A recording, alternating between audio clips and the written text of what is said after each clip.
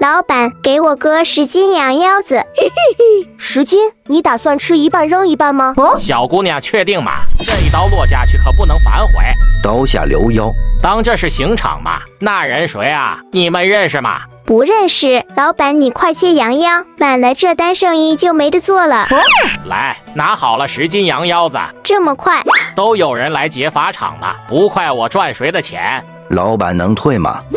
你猜猜看。爹，我最近没吃肉都饿瘦了，你看。哦，比我大腿都粗，哪儿瘦了？爹付钱，咱们走。我不是你爹。怎么想赖账？先问问我手里的家伙是同意不？想比家伙是，当我老头子好欺负吗？大叔，我错了，您付钱肉是您的。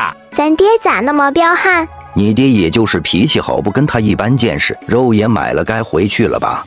大叔，左牛车步，三百六十度全景天窗，一人只要两个大钱，给你们送家去哈。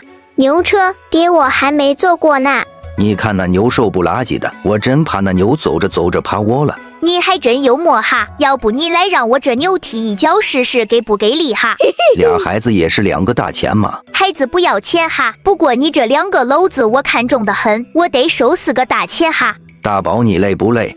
不累，我腿脚好，咱走回去还能省几个大钱。那行，大宝，你背个篓子走着回家，我带楚元和小满坐牛车回去，这样还能省下四个大钱。李大宝简直不敢相信自己的耳朵，而一旁的牛老板更是瞪大了眼，看看李大宝，又看看老李头。这难道不是亲生的哈？看长相好像是父子哈，这也太差别对待了哈！别这么看着我，你爹老了享受不了几年了，你还年轻，多走走对身体好。这是我大哥和他篓子的钱，大哥快上车！牛老板急忙收起来，生怕老李头抢走，气得老李头只得干瞪眼。做好开车了哈，娘，我们买头牛吧，牛车太拉风了，坐在上面回头率老高了，还能犁地，拉水用处好大呀。老婆子，你可不能听他的，他只知道花钱，今儿非得买八斤棉花，又买了十斤羊腰子，我拉都拉不住，差点跟人家干仗。才 十斤很多吗？上次你不是还闹着咱家人少吗？正好这次给大宝、二宝好好补补，努努力多整几个娃。那棉花呢？这可是八斤呀，都能当棉花糖吃了。你不要，我就给两儿媳一人置办两身。他们嫁进咱们家这么多年，也没穿多少好衣服。那你不会真听小满的也要买牛吧？还真有这个打算。小满不是爱骑牛吗？正好以后去县里送酒，骑着牛去方便多了。地里忙了也能用得上。爹，咱买头母牛，往后给配种，生小牛，想卖就卖，不想卖还能养大了多帮咱干活，也是一代传一代。你还想把牛当人养着？咋不能？牛吃草比爹好养，干起活来能顶十个爹。娶个媳妇还不要钱，生的崽还能卖钱。爹，你说是不？嘿嘿，我看行，明天咱就拉着你爹去换头牛。爹，这十五贯没白花，可是让咱风光一回。那可不，谁家的牛不走屋，还让官府的人抬着。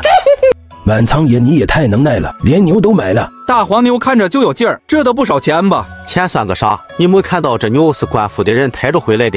我特意挑了最壮的一头牛，县衙的人怕我买不起，还不乐意卖给我呢。他们看不起我们，我当然不乐意了，直接甩出去十五贯，惊得他们抬着牛硬是把我们送回来。十五贯啊，够盖两座青砖大瓦房了，还是满仓太爷家底厚。小满奶，能让我骑骑牛不？我还从来没见过牛呢，我也想骑。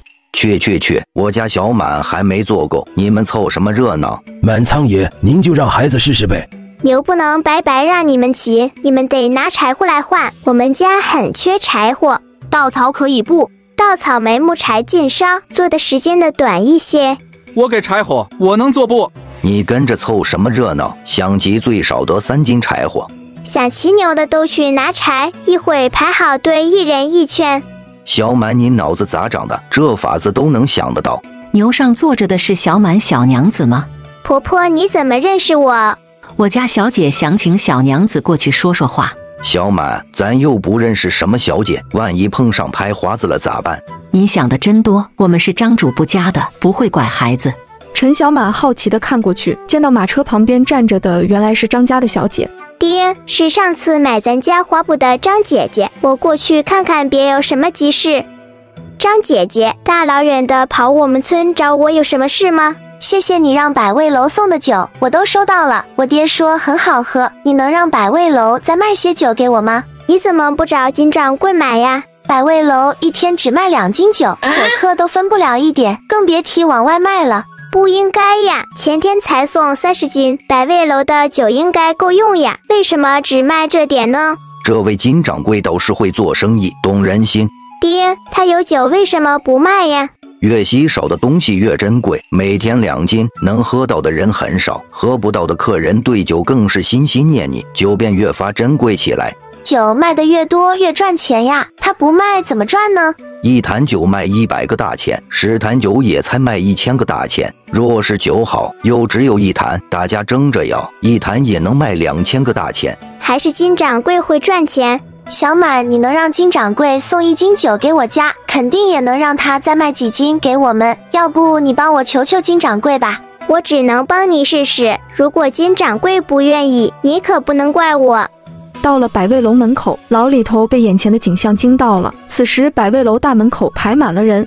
你们这是排队干什么？一看你就没见识，连百味楼最近推出的状元红都不知道。这些排队的都是等着喝状元红呢。门都没开呢，在这等着有什么用？等酒楼开门，今儿就坐不进去了。我半夜就来排队了，谁知道还是排到后面，今儿怕是喝不上酒了。真没想到咱这酒这么畅销，要是万一咱哪天供不上酒了，这群人不得给咱家拆了。张姐姐，你没跟伙计说你爹是张主簿吗？我一开始就说了，人家伙计不松口啊，说是放我们进去就得罪其他排队的客人了。看样子我们得从厨房的后门进呢。你能想到的我都试过，压根不让进。放心吧，我们有自己人。